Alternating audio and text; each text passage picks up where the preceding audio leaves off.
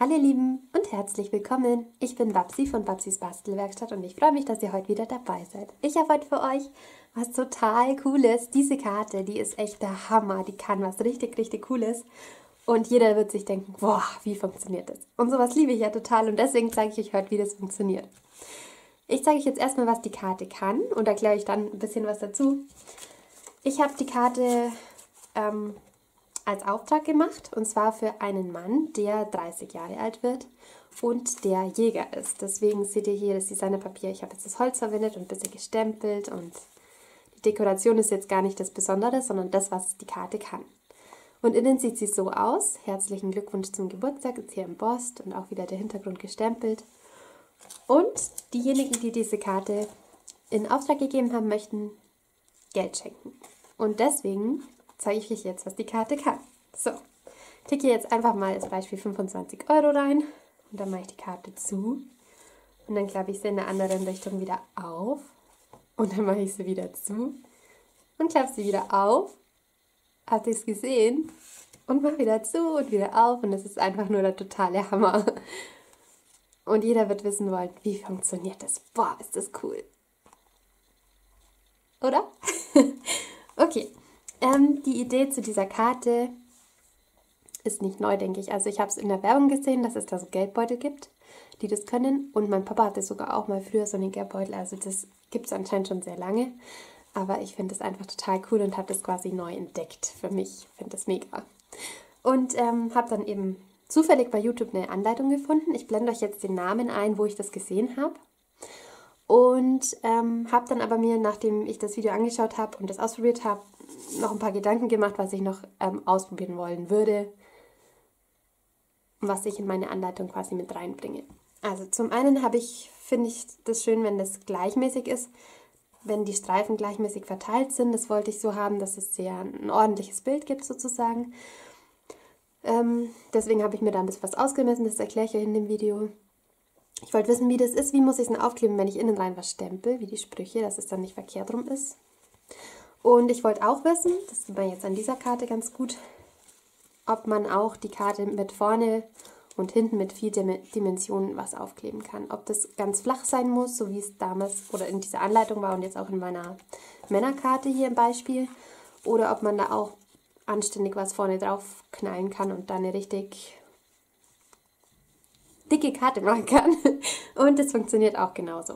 Und dann wollte ich noch wissen, ob es auch funktioniert, wenn man die beiden ähm, Streifen, also hier die zwei Streifen und hier das X, genau andersrum macht. Das funktioniert auch. Und ich erkläre euch einfach im Video, wie das Ganze funktioniert, wie man das bastelt. Ich zeige euch jetzt nochmal schnell die Karte im Nahformat. Also ich habe hier als Weihnachtskarte mit neuen Produkten gearbeitet von Stampin' Up. Hier als Spruch vorne Grüße zum Fest geschmückt mit viel Liebe und hinten und guten Wünschen fürs neue Jahr bisschen mit, mit einem Faden noch im Hintergrund. Also ich finde die Karte sehr schön. Ähm, und innen drinnen habe ich jetzt keine Sprüche gestempelt, sondern nur ein bisschen Deko. Aber ich zeige euch, wie gesagt, auch, was ihr beachten müsst, wenn ihr Sprüche reinstempelt in das Ganze. Und hier funktioniert es genauso. Ich lege jetzt wieder Geld rein. Klappt das Ganze wieder auf und zu und auf und zu. Machen wir es nochmal. Geht natürlich auch in die andere Richtung. Das ist wahrscheinlich die Linkshänder-Version. Die Rechtshänder, glaube ich, machen Klappen die immer in diese Richtung. Und die Linkshänder klappen es wahrscheinlich in diese Richtung. Also ich glaube, dass wenn man die, ähm, die Bänder hier so anordnet, wie auf dieser Karte, ist eher für die Linkshänder, die das automatisch nach links wahrscheinlich öffnen. Und für die Rechtshänder ist es eher in dieser Art. So würde ich es jetzt mal machen. Aber wie gesagt, das ist ja egal, ihr könnt es ja in beide Richtungen machen. Ich zeige euch jetzt im Video, wie das Ganze funktioniert. Viel Spaß dabei. So, und ich habe mir halt gedacht, ähm, ihr habt jetzt eine Geburtstagskarte gesehen, wo man Geld verschenken kann, eine Weihnachtskarte im Design. Und wir machen heute noch eine Hochzeitskarte. So habt ihr drei verschiedene Ideen, wie man vielleicht die Karte gestalten kann, weil es kann ja jeder die Karte gestalten, wie es ihm gefällt. Und ähm, wir machen heute eine Karte, die so aussieht wie die ungefähr. Natürlich im gleichen Format und mit dem tollen Effekt. Aber ähm, vom Design her wird es also eine Vintage-Hochzeitskarte, würde ich sagen. Und ich habe hier mit ziemlich viel verschiedenen Materialien gearbeitet, aber das kann man natürlich auch mit dem machen, was man einfach da hat. Aber ich möchte euch einfach heute mal diese Karte zeigen in diesem Style. Ich halte euch wie immer die Bestellnummern ins Bild. Also ich habe verwendet Farbkarton Savanne, Vanille pur und Wildleder als Farbkarton. Im Prinzip würde es reichen, wenn ihr von den Maßen einfach nur vier Karten mit dem Maß 10 x 15 cm habt. Aber wir machen natürlich heute ein bisschen Deko, ein bisschen Design und dazu verwende ich nochmal zwei Stück Savanne in dem Maß 9,5 x 14,5. Und ich habe die eine Seite schon fertig gemacht, die Vorderseite, weil es insgesamt ja mehr Dekoration wird auf der Karte, weil man ja eine Vorderseite und eine Rückseite gestaltet im Prinzip. Und deswegen habe ich eine Seite schon mal fertig gemacht, damit es jetzt für euch im Video schneller geht. Und wir fangen jetzt einfach mal an mit der Rückseite. Und dazu verwende ich jetzt das Savannepapier und fange erstmal an zum Stempeln, denn ich habe ja hier quasi mein Designpapier selber gemacht. Ich habe mir gedacht, ich mache das so im Ton in Ton, Vintage-Style und deswegen stempeln wir jetzt. Bevor ich das jetzt mache, zeige ich euch nur ganz kurz, was ich alles verwendet habe. Ich habe wirklich viele Stempels jetzt dieses Mal benutzt. Einmal die schönen Dinge benutzen wir gleich für den Hintergrund. Da habe ich diese beiden Stempel. Das Love You Two Pieces, das ist eigentlich der Hauptdarsteller von meiner Karte. Das sind diese Puzzleteile. Dazu gibt es auch die passenden Stanzformen. Ich habe mir also diese beiden Puzzle schon mal aufgestempelt in Wildleder und in Savanne und habe mir die dann eben mit dem passenden Puzzleteil ausgestanzt. Und das Ganze machen wir jetzt mit der Rückseite. Da habe ich dieses ähm, You Are My Missing Piece aufgestempelt in Wildleder und das stanze ich mir jetzt auch gleich noch aus mit der Herzstanze, mit der passenden. Und dann habe ich für die Innenseite noch hier aus dem Magnoliengruß einen schönen Stempel verwendet, aber wie gesagt, da könnte man jetzt zum Beispiel auch einfach nur die Ränder von diesem Stempel so aufstempeln auf die Unterseite. Also das muss gar nicht sein. Zur Hochzeit verwende ich aus dem Spruch Kuchen ist die Antwort aus dem Stempelset. Und den wunderschönen Vogel habe ich von Frei wie ein Vogel auf der Frontseite. Vielleicht machen wir den auf die Rückseite auch, das schauen wir dann ganz spontan. Okay, und was ihr auf jeden Fall braucht, sind vier Bänder. Die haben alle das gleiche Maß, die sind alle ungefähr bei 20 cm gekürzt. Und das ist wichtig für unseren Mechanismus dann gleich auf der Innenseite. Ich benutze jetzt das Band Magnolienweg. Das ist so ein Kombiband mit einem dünnen ähm, und mit einem breiteren Band. Das finde ich passt jetzt ganz gut zu unserer Karte. Und das habe ich auch bei dieser Karte benutzt. Okay, also wir legen jetzt erstmal los mit Deko und danach machen wir den tollen Mechanismus von dieser Karte. Als erstes nehme ich mir jetzt mal meine Stempel- und Perforiermatte und ein Schmierpapier und werde mir jetzt zuerst mal meine Front, beziehungsweise jetzt machen wir die Rückseite von der Karte dekorieren. Und im Prinzip habt ihr ja, egal wie ihr die haltet, habt ihr immer eine Front und eine Rückseite. Also es ist ja, das muss nicht unbedingt die eine Seite ist vorne und die andere ist hinten, sondern das wechselt sich ja andauernd, wenn man die Karte immer wieder hin und her biegt. Und ich nehme jetzt diesen wunderschönen Ornamentenstempel mit aus dem Set Schöne Dinge. Und die Stempelfarben, die ich benutze, sind Wildleder und Savanne. Und ich fange jetzt an mit Savanne, weil ich das Ton in Ton aufstempeln werde. Und ich finde, für eine Vintage-Karte ist dieser Stempel einfach nur total genial. Ich finde den so schön. Ich wollte euch schon so lange eine Vintage-Karte zeigen. Und ich stempel mir das jetzt ein bisschen wild aufs Papier sozusagen. Ich habe zwar jetzt unten gerade angefangen, aber mache da jetzt auch ein bisschen schief weiter.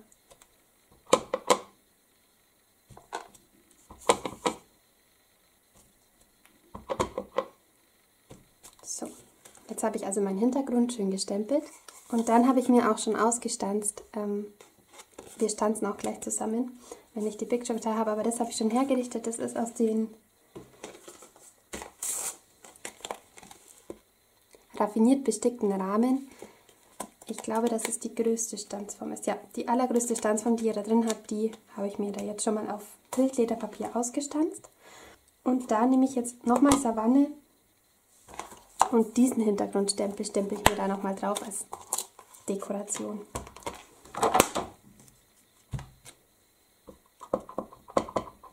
sieht man dann nachher nur ganz leicht, aber so kleine Feinheiten, die machen halt einfach, ja, die machen halt einfach die Feinheiten aus. genau, also den stempel ich mir jetzt hier rechts und links hin. Ihr seht es hier auf der Karte so im Hintergrund. Also wirklich nur ganz leicht, aber es ist halt ganz hübsch. Okay. Den Spruch You are my missing piece, den habe ich jetzt schon mal in Wildleder und in Savanne aufgestempelt. Ich schaue dann gleich, was mir besser gefällt. Und jetzt stanzen wir uns dann gleich mal die Rahmen und das Herz aus. Aus den raffiniert bestickten Rahmen verwende ich jetzt die drittgrößte Stanzform. Die stanze ich mir aus Vanille pur aus. Und das Herz habe ich auch schon auf meine Schrift gelegt und kurbel mir das jetzt einmal hier durch. Und das mache ich auch gleich noch ein zweites Mal, dass ich mir das Herz nochmal auflege.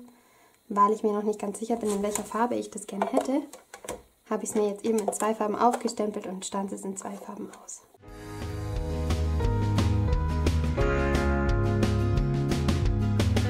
Und jetzt können wir schon ans Zusammenkleben von unserer Rückseite gehen. Dazu nehme ich mir einfach mein, mein savannefarbenes bestempeltes Papier, den Flüssigkleber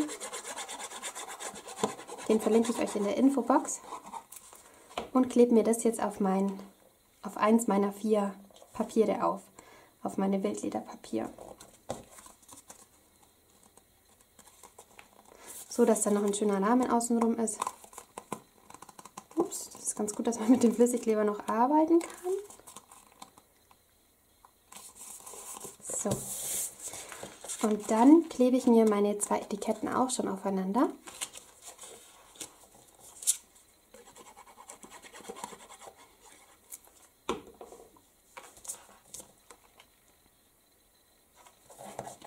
Halt so rum habe ich es gehabt, dass man da unten noch die Blüte sieht.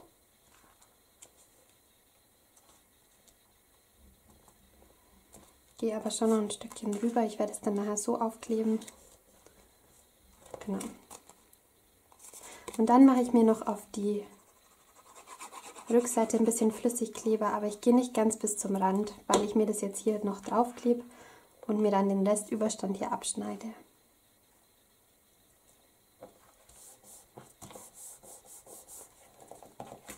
Dafür drehe ich es mir jetzt einfach um und schneide mir hier diesen Überstand weg.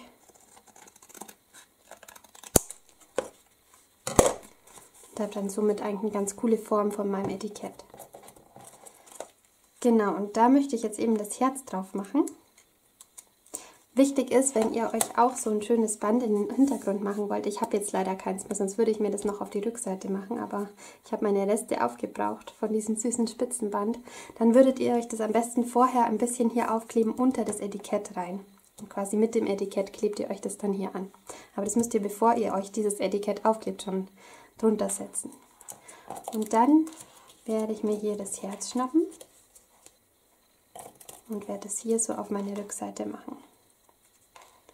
Ich finde es einfach toll. Ich mag dieses Puzzleset sehr gerne, obwohl ich es noch gar nicht oft benutzt habe. Aber ja, ich glaube, so ist es eine schlichte Rückseite. Die muss ja nicht so pompös sein wie die Vorderseite.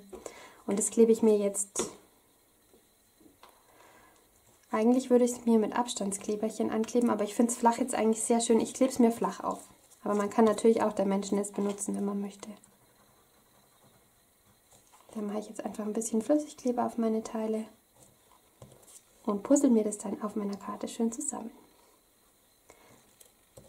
Also ich finde die, die Idee von den Puzzleteilen eigentlich total super.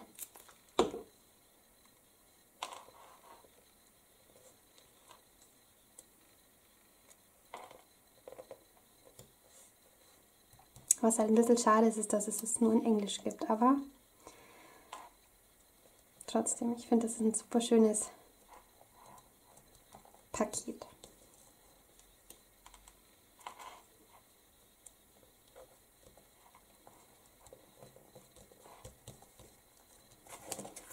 Und man sieht jetzt also, wenn man sich schön anschaut, dass es einfach gepuzzelt ist. Aber man kann trotzdem den Text noch lesen und ich finde das richtig schön so. Was ich jetzt noch ein bisschen zur Verzierung mache, ist, dass ich mir die Paletten, die haben die 146933 als Nummer, die sind selbstklebend aufklebe. Dann nehme ich diese, nicht die weißen, sondern die ein bisschen dunkler sind. Das können wir wegtun, das habe ich nicht gebraucht. Und die verteile ich mir jetzt einfach so wie auch bei der Frontseite über, meiner, über mein Projekt.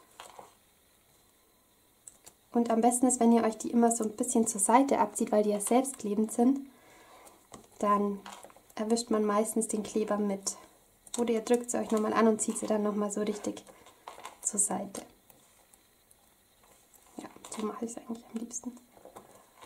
So, fünf Stück drauf. Und ihr seht, es ist jetzt eine schlichtere Seite. Es wäre schon schön gewesen, wenn das Band noch im Untergrund wäre, aber ich finde, die passt schön zu der Rückseite und das muss nicht so pompös sein wie auf der Vorderseite. Wer möchte, kann natürlich auch noch ein Vögelchen hinmachen, aber ich würde es jetzt einfach so lassen. Mir gefällt es jetzt so ganz gut. Okay, und dann gehen wir jetzt gleich los zum Mechanismus von der Karte. Und was mir jetzt eben wichtig ist in diesem Video, ist, dass ich euch zeige, wie es wäre, wenn ich hier drinnen einen Text stempeln würde. Weil da muss man aufpassen, wie man das Ganze dann nachher aufklebt. Ihr könnt es dann machen, ihr müsst es aber nicht machen, aber ihr wisst dann zumindest, wie das funktioniert, wenn ihr jetzt da einen Text drauf habt dann ähm, kann da nichts mehr schief gehen. Dann braucht ihr nicht so lange rumtüfteln, wie ich das gemacht habe. Und dazu stempel ich mir jetzt auch nochmal meine Innenseite. Ich lege mir nochmal was drunter und hole mir jetzt noch den Stempel aus dem Magnoliengruß, den hier unten, den finde ich total schön und den werde ich hier einfach mal noch drauf machen.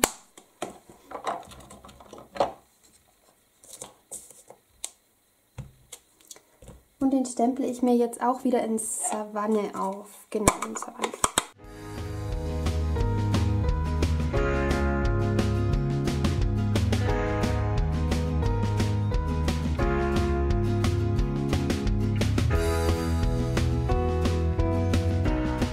Wie gesagt, wenn ihr jetzt das Stempelset nicht habt, dann könnt ihr natürlich auch mit diesen Hintergründen da arbeiten. Das muss jetzt nicht dieser Stempel sein, aber mir hat er eben ganz gut gefallen, deswegen habe ich gedacht, den mache ich da dazu. Und dann habe ich noch einen Spruch gesucht zur Hochzeit.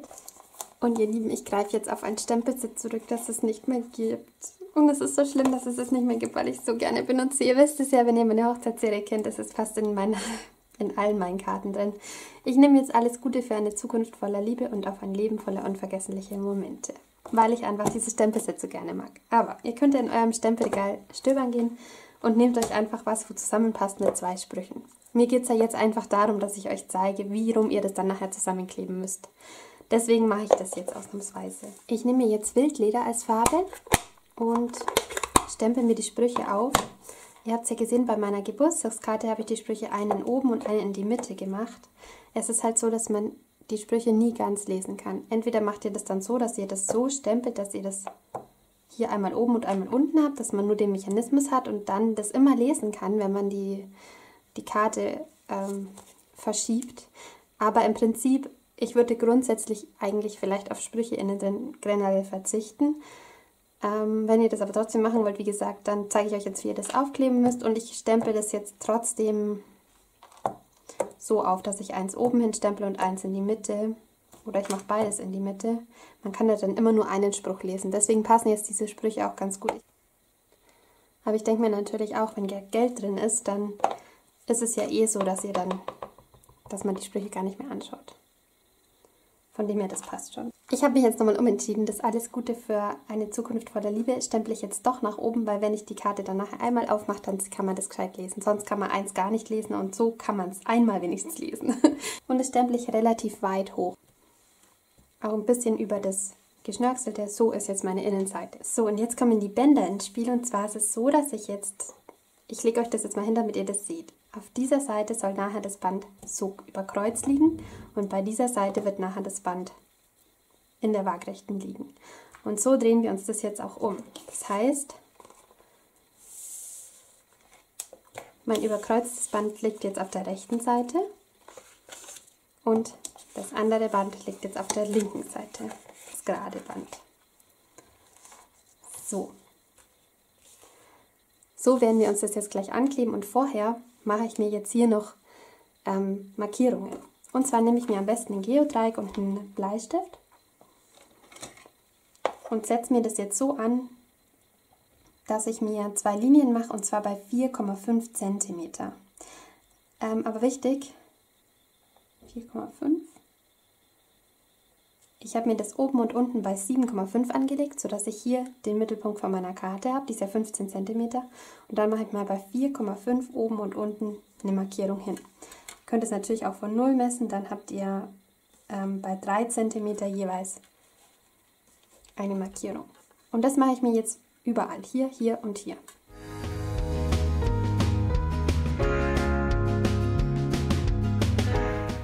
Also ich lege mir das nochmal so an, dass hier oben 7,5 und hier unten bei 7,5 und dann markiere ich mir das bei 4,5.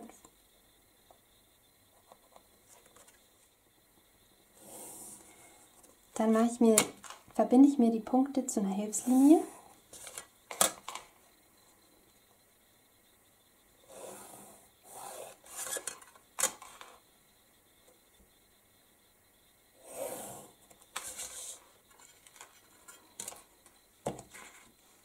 Ich hoffe, ihr seht es, was ich hier mache. Also ich habe mir die Punkte verbunden.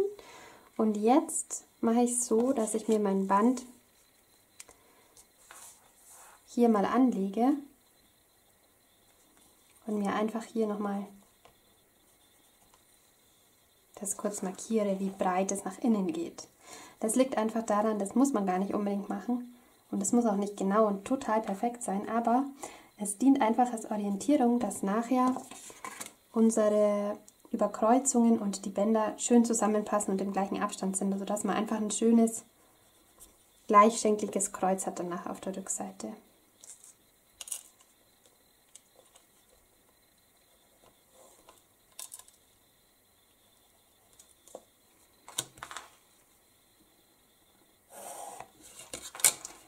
Ihr könnt euch das jetzt nochmal verlängern. Und dann nehme ich hier die äußerste Kante und mir hier so ein Kreuz einfach rein.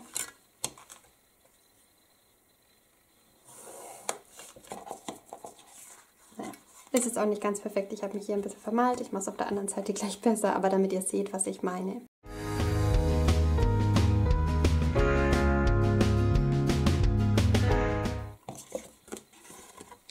Genau, also so passt es jetzt. Ich habe mir das einfach hier ein bisschen verlängert und hier von außen nach unten überkreuzt mache ich mir eine Markierung hin und kann dann nachher hier schön mein Kreuz anlegen, damit ich weiß, ähm, damit es auf der anderen Seite dann schön gleichmäßig ausschaut. Ich hoffe, ihr kennt es nachher gleich, was ich meine, ganz genau. Okay, und jetzt kleben wir uns ein bisschen was. Und zwar fangen wir auf dieser Seite hier an klebe mir hier einfach ein bisschen Abreißklebeband hin an meine untere Markierung nach innen sozusagen. Also ich habe hier die Markierung und klebe mir das oben drüber ein Stückchen Abreißklebeband. Und so mache ich das auf dieser Seite auch. An meine obere Linie, meine erste Linie von unten ist es die untere, mache ich mir da ein Stückchen Klebeband. Und mit dem fangen wir jetzt an, dass wir unser Band hinkleben. Ich lege mir das jetzt so auf das Band, dass es ungefähr in der Mitte ist. Und klebe mir das dann einmal hier auf der Seite schon mal fest.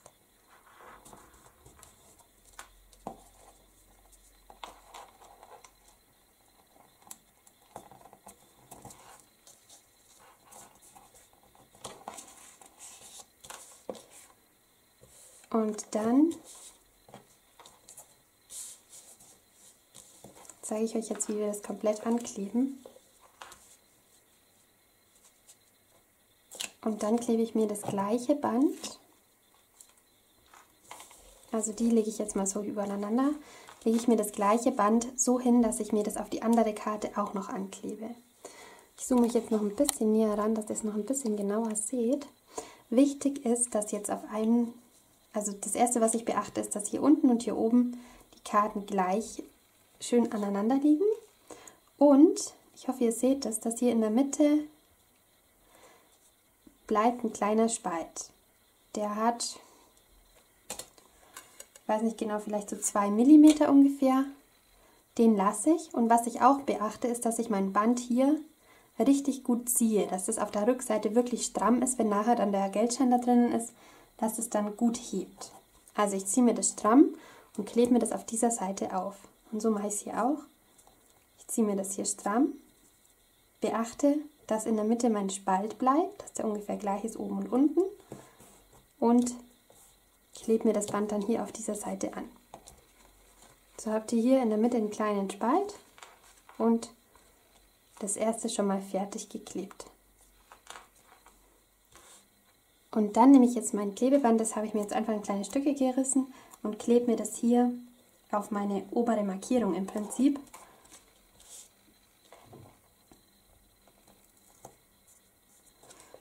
Kann mir das gleich mal abziehen. Und fange jetzt hier von außen an, mir mein Band hinzukleben. Also das ist jetzt über Kreuz gelegt, also das ist jetzt dieses Band. Und das ziehe ich mir jetzt hier schön gerade hin und klebe mir das hier an. Jetzt achte ich wieder darauf, dass hier, eigentlich können wir das mit dem unteren Band auch gleich machen, also das ist mein Band. Das lege ich mir jetzt einfach so über die Seite rüber und klebe mir das an. Ihr seht jetzt hier ist ein bisschen Kleber, das macht nichts, weil wir kleben uns ja die Seite gleich wieder zu. Jetzt gehen wir noch auf diese Seite, kleben uns da das Klebeband noch hin.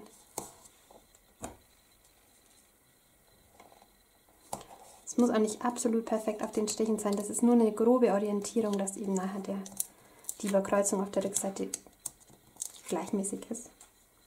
Und jetzt muss ich wieder darauf achten, dass ich hier in der Mitte den Spalt lasse, hier in der Mitte, und dass die oben und unten die Karte schön bündig abschließt. Und dann ziehe ich es wieder hier ziemlich straff, also ich klebe jetzt dieses Band hier fest, ziehe das straff, versuche meinen, äh, meine, meinen Spalt in der Mitte zu lassen und klebe mir das jetzt hier einfach so an. Und so mache ich es hier auch, ich ziehe das Band straff, klebe es nach oben. So, und wenn ich das jetzt umdrehe, dann sieht man hier, habe ich hier ein schönes Kreuz, das ist einigermaßen gerade und ja, so sieht jetzt meine Vorderseite aus. Jetzt zoome ich euch mal noch mal ein bisschen raus. Jetzt ist es nur noch wichtig, dass ihr wisst, wie ihr euch das jetzt zusammenkleben wollt. Also das ist meine eigentliche Frontseite, die kommt dann auf diese Seite und das ist meine Rückseite, die klebe ich jetzt hier noch auf. Und das mache ich jetzt einfach mit Flüssigkleber. Ihr könnt es natürlich auch mit Abreißklebeband machen. Das hat man ja eh gerade da, aber ein Flüssigkleber hat mal halt den Vorteil, dass man das dann schön noch aufeinander ruckeln kann, wenn da irgendwelche Ecken wären.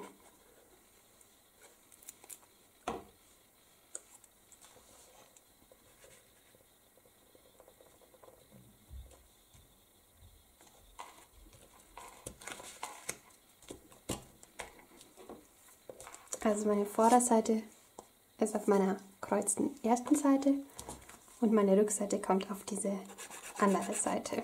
So viele Seiten. Ich hoffe, ihr könnt mir da, ich hoffe, es ist nicht zu konfus und ihr könnt mir da gut folgen und es ist gut erklärt. Manche Sachen sind einfach irgendwie schwierig zum Erklären, ich weiß auch nicht. Wenn man sich dann selber konzentriert, dann ja. Aber ich glaube, wir haben alles richtig gemacht und es sieht jetzt schon richtig schön aus. Mir gefällt es unheimlich gut. Es ist ja auf der Vorderseite ein bisschen mehr dekoriert, auf der Rückseite ist es schön schlicht. Und auch innen, ich finde es einfach ist eine total schöne Karte geworden. Und jetzt probieren wir es natürlich auch gleich mal aus. Ich habe hier mal 5 Euro. Meine 25 Euro sind irgendwo in meinem Chaos hier ver verloren gegangen. Die packe ich jetzt einfach mal hier rein. Und dann mal hier auf, ja, zu, wieder auf und wieder zu wieder auf. Und man kann gar nicht aufhören und das ist so cool, weil das Geld einfach sich so versteckt. Und dann wieder hier ist und wieder hier und oh, ich brauche euch gar nichts erzählen, ihr seht es ja selber, aber ich bin total begeistert. Ich finde es total mega cool und ich hoffe, es gefällt euch genauso gut wie mir. Jetzt nehmen wir nochmal die weihnachtliche Version. Ich werde euch wahrscheinlich sogar ein Video aufnehmen, wie ich diese Dekoration gemacht habe. Da ist ein kleiner Kniff dabei. Ähm, da werde ich euch vielleicht noch mal ein Weihnachtsvideo aufnehmen. Mal gucken. Jedenfalls, ah, ja gut, hier sind meine 25 Euro. Doch nicht im Chaos untergegangen. Hm, jedenfalls habe ich mir gedacht, dass das wahrscheinlich eher die Linkshänder-Version ist. Weil, ihr seht, hier ist das Kreuz auf der linken Seite und hier ist es auf der rechten Seite. Und ich bin mir nicht sicher, aber ich würde automatisch sagen, dass vielleicht ein Linkshänder das hier reinlegt und dann so rum die Karte auf und zu macht. Ihr seht jetzt den Unterschied, dass das Geld so ist. Und wenn ich es jetzt einfach nur aufmache als Rechtshänder und reinlege, halt, ich muss vielleicht auch die Vorderseite hinlegen. Das ist meine Vorderseite, ich mache es auf, lege das Geld hier rein und mache es dann so wie ein Rechtshänder weiter auf, dann wäre jetzt das Geld auf der Rückseite. Und wenn ich es jetzt aber als Linkshänder machen würde, glaube ich, macht der Linkshänder wahrscheinlich die Karte so auf, legt das Geld hier rein und klappt es dann nach so rum. Und dann ist das Geld wieder vor, auf der Vorderseite, also das richtig rum sozusagen. Ich glaube, das ist sozusagen meine Linkshänder-Variante für euch. Und das ist die Rechtshänder-Variante. Vielleicht wisst ihr ja, ob der Beschenkte oder die Beschenkten rechts oder links sind und könnt das dann noch anpassen. Je nachdem müsst ihr halt die Karte dann andersrum zusammenkleben. Hier seht ihr nochmal den Unterschied. Das Kreuz ist eben auf der anderen Seite. Eine Sache habe ich noch vergessen zu erwähnen. Den Vogel, den habe ich koloriert mit Aquarellstiften. Ich habe dazu benutzt einen Gelbton, einen Olivton, Apfelgrün und Blau und habe das Ganze dann mit den Missstiften einfach ein bisschen verblendet. Also da könnt ihr einfach mit den Aquarellfarben da drauf malen und dann einfach mit einem Mischstiftteilchen, egal welche Seite, das schön vermischen. So müsst ihr das gar nicht perfekt ausmalen und habt dann echt einen schönen kolorierten, schönes koloriertes Vögelchen. Das noch als kleine Anmerkung am Rande. So, ihr Lieben, also ich finde die Karte total super. Den Mechanismus finde ich genial. Ich kann gar nicht mehr aufhören, hin und her zu blättern und ich auch, finde auch das Design wirklich schön. Beide Designs gefallen mir sehr gut. Die Geburtstagskarte, die ist schon verschenkt, die kann ich euch jetzt nicht mehr ins Bild halten. Aber ich freue mich, dass ihr zugeschaut habt. Ich würde mich sehr freuen, wenn es euch gefallen hat, wenn ihr mir einen Daumen hoch gebt für dieses Video. Und wenn es euch richtig gut gefallen hat und ihr gerne mehr von meinen Videos sehen wollt, dann könnt ihr den Kanal einfach abonnieren. Drückt dabei diese Glocke und dann werdet ihr immer kostenlos informiert, wenn ich ein neues Video hochlade. Viel Spaß beim Nachbasteln und viel Spaß beim gucken, wie die Leute reagieren, wenn sie diesen Mechanismus ausprobieren. Das ist total super, wirklich. Das kann ich euch nur raten. Und bis zum nächsten Mal. Tschüss.